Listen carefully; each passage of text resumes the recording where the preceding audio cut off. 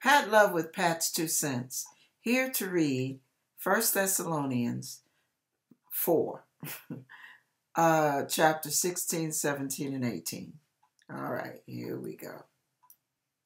For the Lord himself shall descend from heaven with a shout, with the voice of the archangel, and the trump of God, and the dead in Christ shall rise first.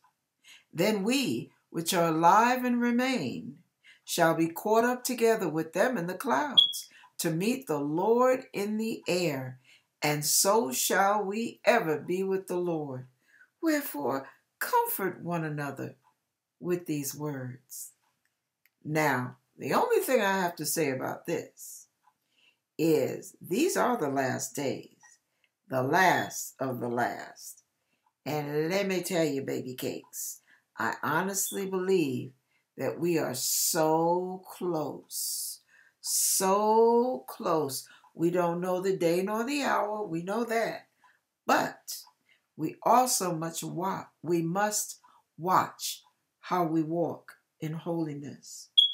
There's a scripture up higher in the same chapter, and uh, this is kind of a, a warning, an admonishment, a word of correction.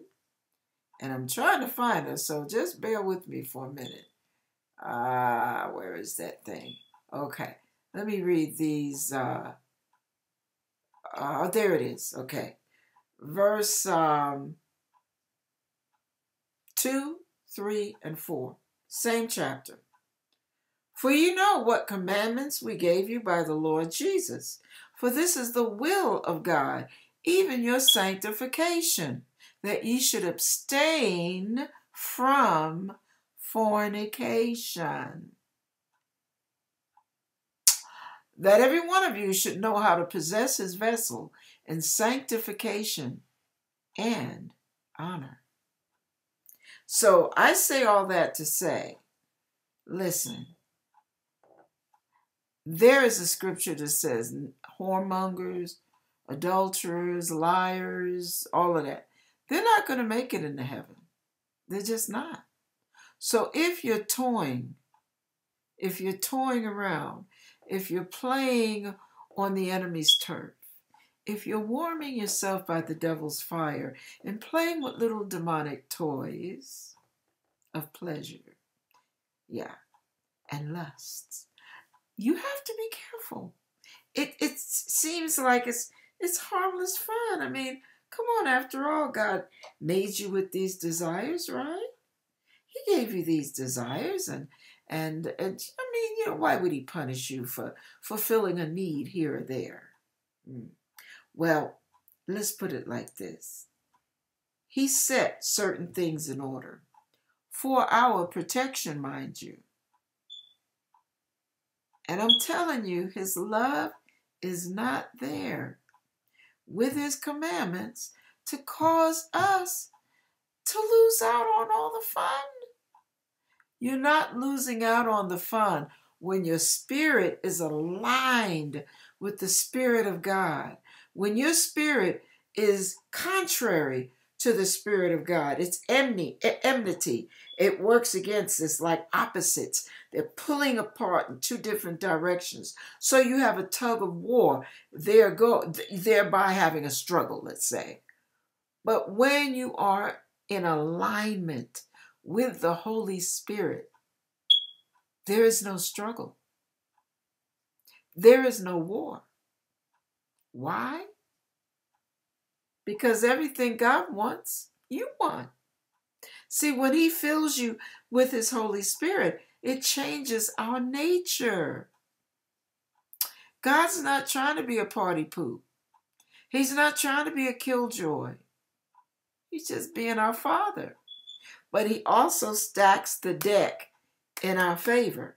So when we feel like, you know, we have to watch the do's and the don'ts, we don't have to worry about the don'ts if we're walking in Him because we won't be feeding that. See, when you starve something, it dies. And the Bible says if you resist the devil, he'll flee.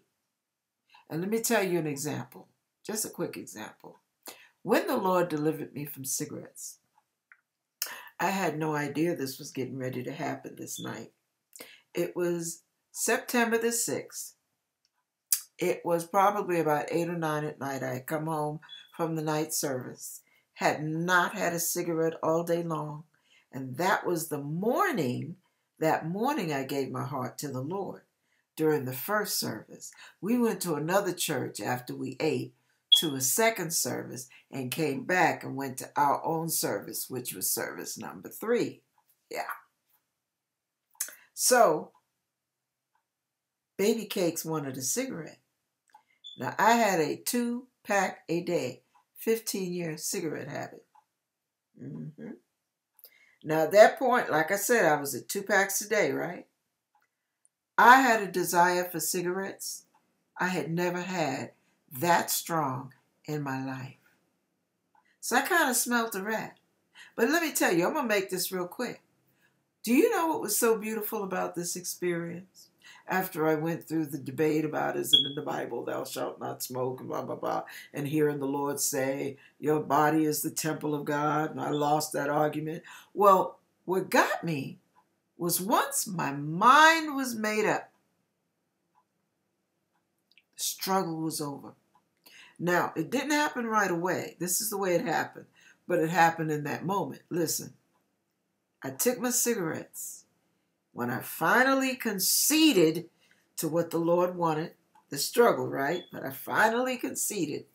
I'm working on these cigarettes and I'm tearing and I'm ripping and I'm mangling them, and they are nothing but crumbs in my hand. Full pack of cigarettes, only missing one.